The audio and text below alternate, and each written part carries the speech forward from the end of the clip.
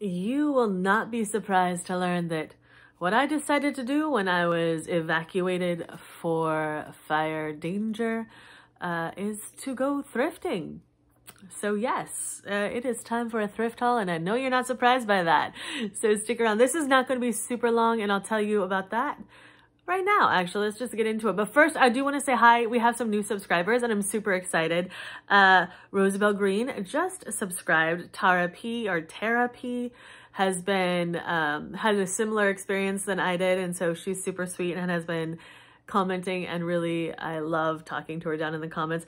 Kimberlini Bambini has the best funnest name to say that's super fun. Stephanie and Jeannie and Christine and of course Casey are some of the new folks who've popped by and who have decided to subscribe and I really appreciate that you're here. Our subscribers are super awesome, super kind and I love chatting down in the comments. So leave a comment, say hello and let me know what you think about this haul because yes, when I, and I'm just getting to filming this stuff now because we did the box with Kelly um, because we could not wait to get that done. So that is, I'll link that down below. If you didn't see my little swap box with Kelly, you should go watch her channel as well to see what I sent her. But she sent me some great stuff. So go watch that video. Not right now, watch this one first. Uh, but we're going to have a little haul. So like I said, we evacuated because of the fires. We're at the end of a dirt road that the trees fall down very regularly at the head of the road. And with the winds being so strong, there were branches going everywhere. And so when we had the first fire that was three miles away, it was, my dad could not sleep for two nights. He was up. We were trying to figure out what was going on because there was no communication. This was before everything went crazy. There was just a mill fire about three miles away from us that was insane. Millions of dollars of lumber burned up. So that was our first thing. And then just with the winds and we had on two sides, like the red areas creeping closer and closer to us. And we weren't technically in a mandatory evacuation zone but we were in a, hey, if you can get out and you sort of kind of can zone, we were. So um, dad just knew that there was no way that if the trees fell out, down, we would be trapped here. So he was like, we need to go out. And I'm like, okay, we did. So we went to hang out with friends and since we were there for like five days and had not much else to do, I went thrifting a couple of days and I'm going to have a couple hauls. This one is actually from two different days. The first haul is super small because I went with the daughter. She started to feel very ill. So I just grabbed a few things and we ran and it was good things we did because she was not feeling well. Uh, and so then we went out later and I'll tell you about that when we get to it. So let's just get into this haul, see what I found at the first place. Actually, I have not looked at these things since I've been home. Uh, literally, it's been kind of crazy. I, re I just came in, dumped everything out, and I'm trying to put everything back because when you pack up, like, I didn't pack up a lot to evacuate, which was hard thinking about, like, okay, all of my inventory, I do need to get business insurance, by the way, because homeowners would have covered most of it, but just in case. Uh, anyway, so I'm like, yeah, so I, I grabbed certain things, but like the blanket, the quilt my mom made me, I didn't, when I first left, I had like three shirts and a couple pairs of pants. I was like, hmm, maybe I want more clothes just in case. Anyway, so this thrift store, I grabbed a few things because, like I said, the, I guess she's like my kind of adopted niece, uh, wasn't feeling well, so we had to leave. But I did grab this gorgeous piece. This is handmade in Iceland, I believe. Uh, yeah, it just says made in Iceland. It's a size medium. I believe it's wool, but let me look for that. Like I said, I haven't looked at these since we had to vamoose. Uh, and the brand is Kidka. Let's see, do we say that we're wool anywhere? You feel like wool. Hmm, I don't see contents tag. Watches on, no, it's not on the back of that tag. Anyway, pretty sure that it's wool. It's cropped. It's so cute. It's like this gorgeous wool hoodie. I mean, seriously, could I go wrong with that?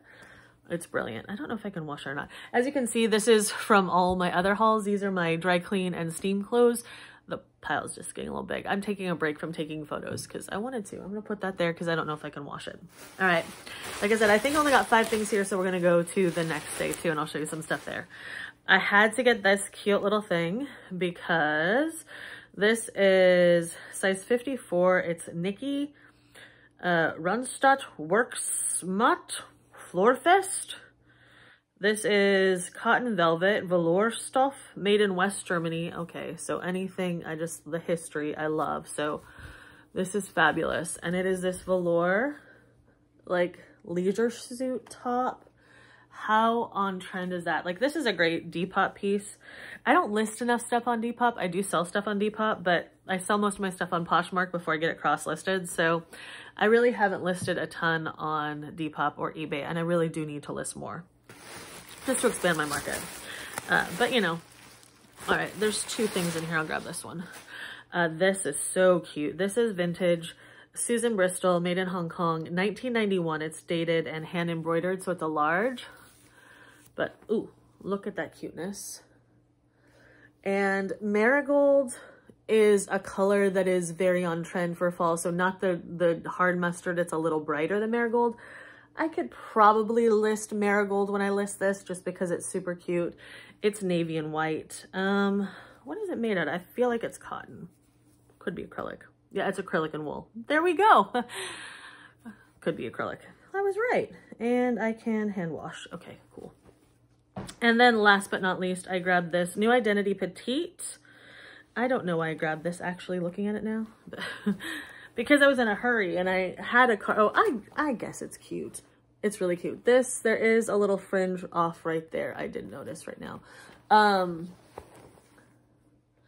I did have a cart with a bunch of stuff in it, but because she felt sick, I didn't have time to go through it. So I just grabbed like five things I knew that I loved. And this is pretty cute. It's vintage. It's petite though. I don't know why I grabbed it. It's cute. But it does say dry clean only. It's denim. So we'll see. I may wash it, just hand wash it. All right, so that was that shop. And like I said, we had to go and I'm like, I'm sorry, she's, because their bathrooms are all shut because of COVID. So she couldn't go to the bathroom there. And anyway, okay, too much information. I'm sorry. She's going to get so mad at me if she sees this. so the next day I went out and I did some thrifting by myself because we stayed up really late the night before talking. So she slept in. So I went to one store and was closed because of the smoke. Then I went out to this other store and I have a huge bag, which I'll do in a separate haul.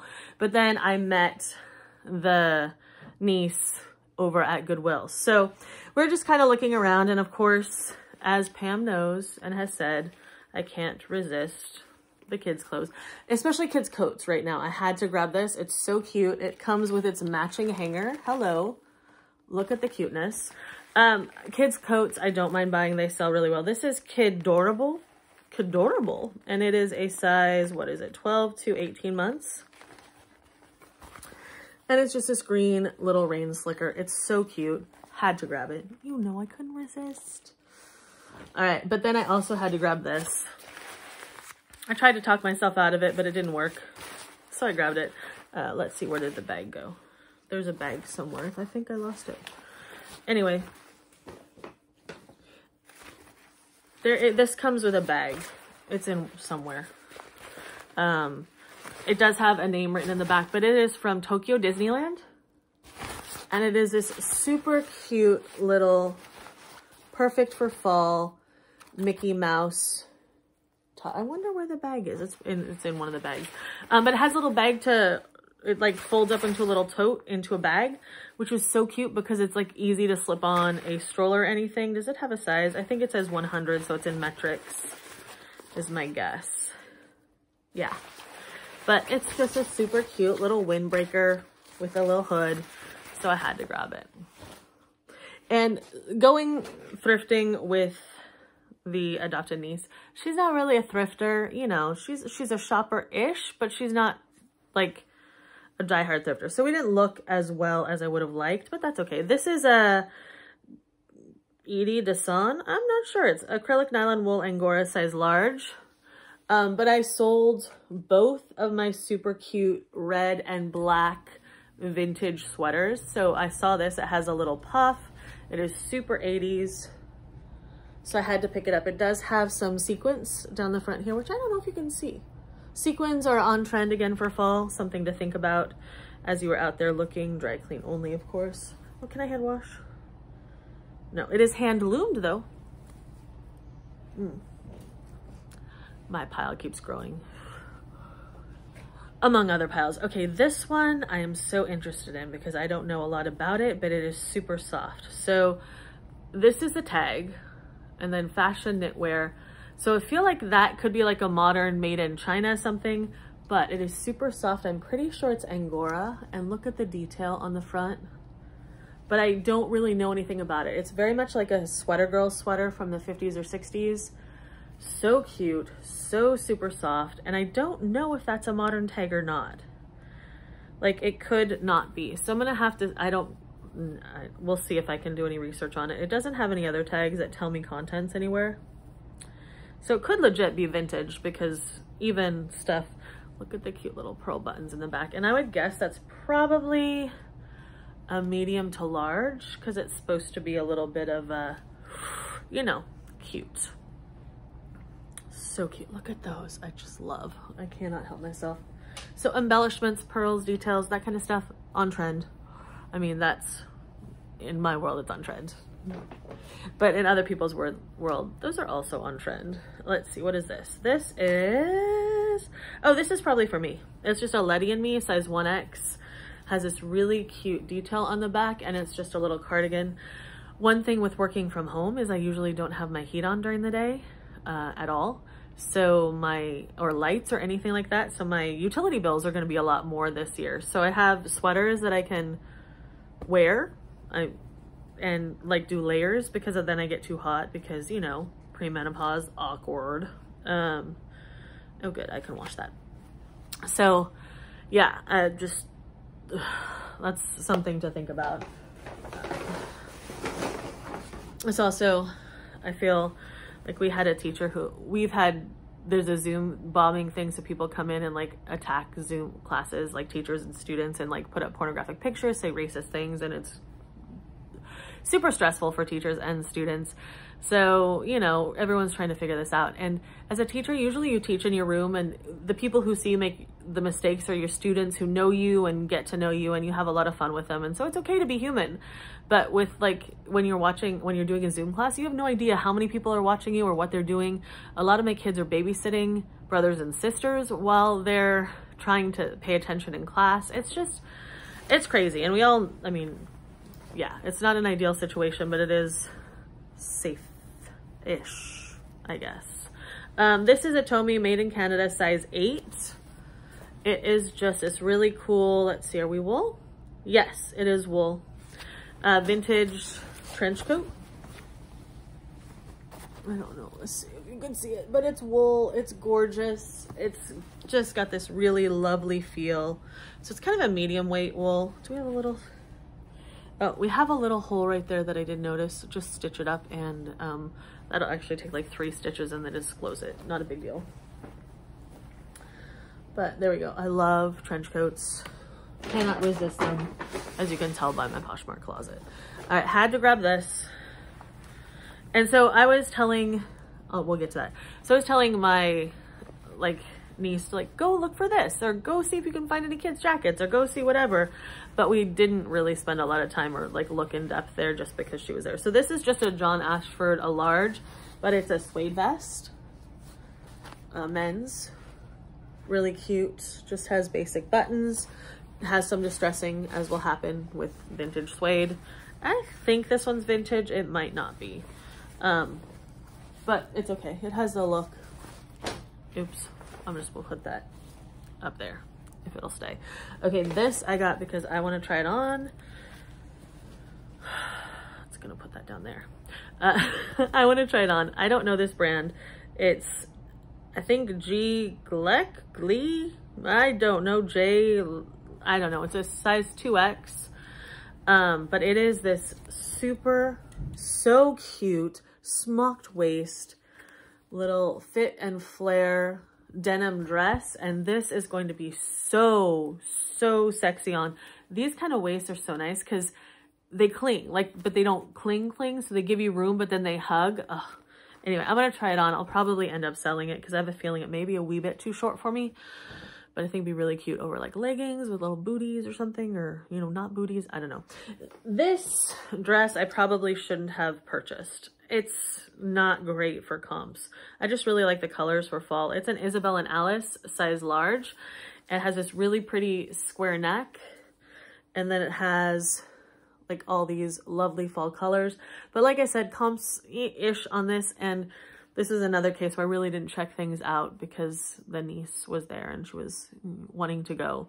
Um, so we didn't stay too long. But, okay, so I told her we'd get to the jackets, and I'm like, okay, so look for St. John, look for Pendleton, la la la, stuff like that. She goes, two coats. She's like, oh, you mean like this? And this is what she pulled out.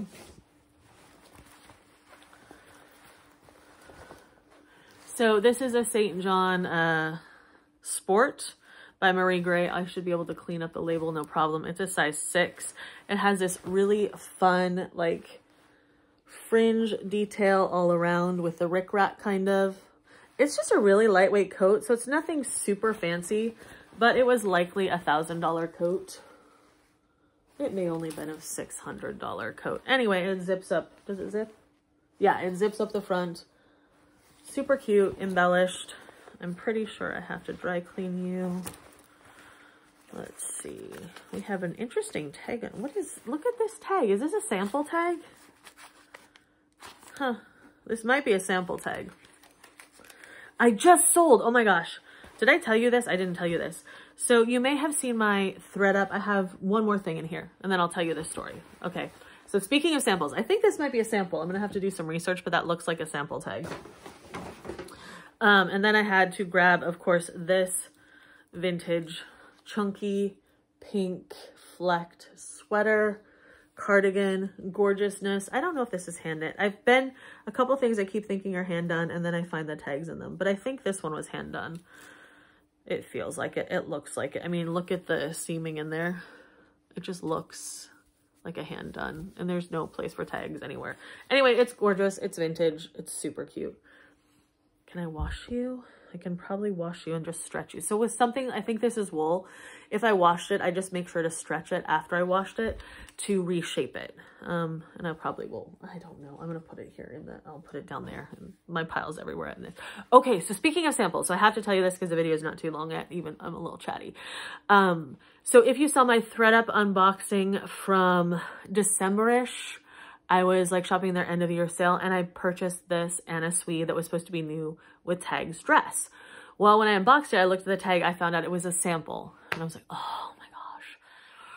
And I probably actually could have asked thredUP. I could have said, hey, you said this was new with tags. You did not say it was a sample.